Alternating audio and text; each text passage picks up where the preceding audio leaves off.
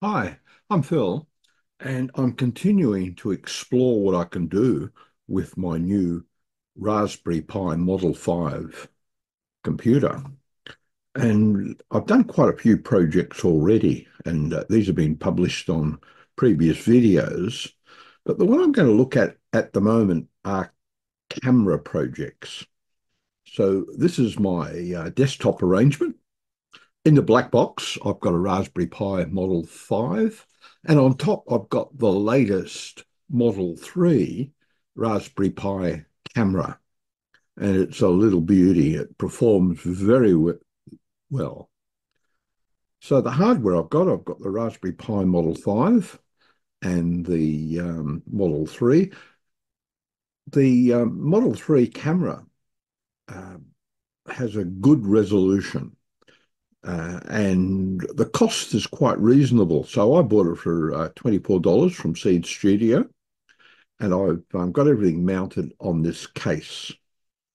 So the things I've already explored are the camera commands. And the first thing is, uh, since I did it before, the software has all changed just at the um, command line level. So previously I would have uh, used this. Now I use a different um, command to take an image. And that's not the only thing that's changed. All the Python libraries have been uh, upgraded and the documentation from the Raspberry Pi Foundation uh, is very recent. They just released their uh, new documentation two days ago and it's excellent. So I'm following that with these projects. So we might go down and have a look at to see what I'm doing. So um, uh, the first thing is that um, I'm going to look at um, simple Python pro projects. So a, a typical one um, would be um, this one and we'll have a look at the uh, the code for this. So the objective is to get Python to work uh, on a standard Model 3 camera. And the code, let's have a look if we can see the code. Here's the code for that. Uh, not many uh, lines, and uh, we'll go across and see that in operation. So uh, what I might do now is um, bring up my um, VNC screen. And I'm just going across now to get it. Here we go. There's the Raspberry Pi. And I've got all these projects uh, under Project 3.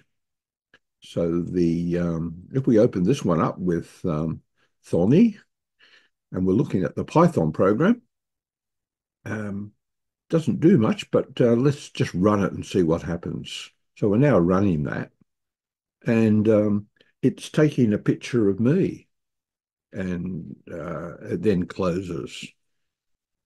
Okay, so um, you can see that um, it works with the um, Python, uh, a good library, plenty to explore there. But it not only works with the um, CSI cameras, but also work with USB cameras and with both.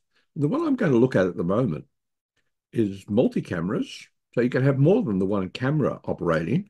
And here we're going to have a USB and a uh, CSI camera. And um, we'll be looking at Node-RED for doing that.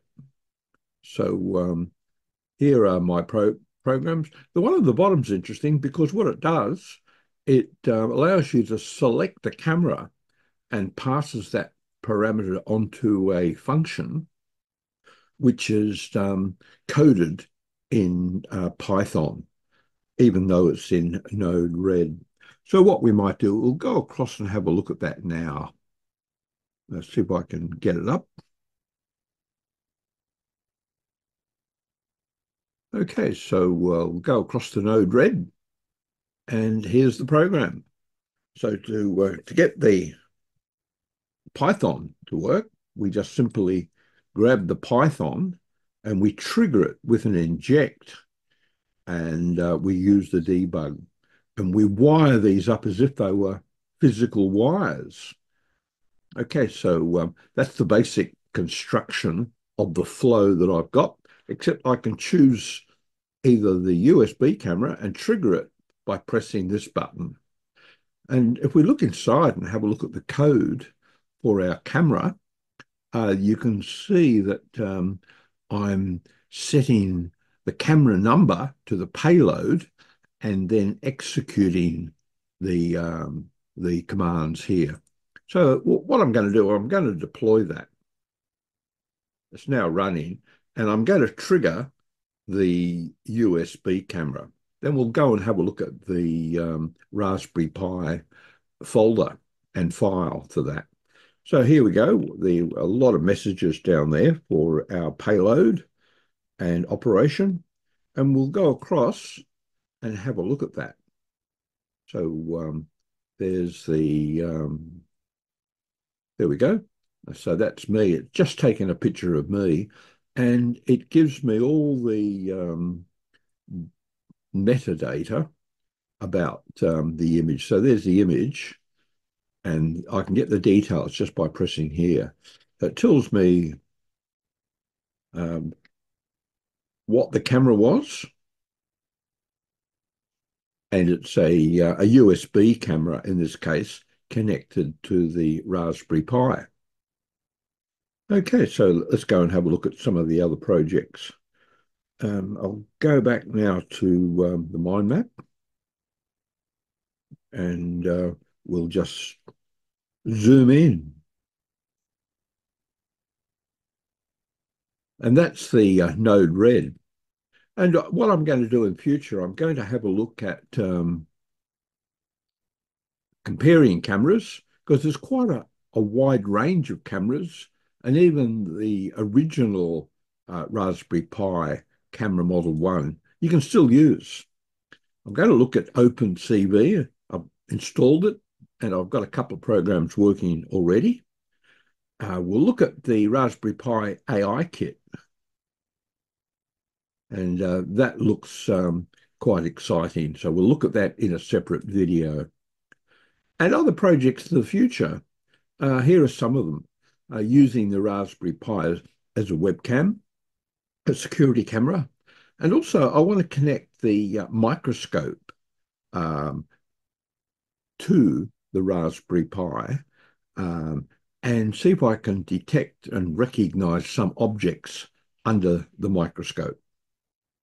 Okay, so uh, plenty of references on all of this.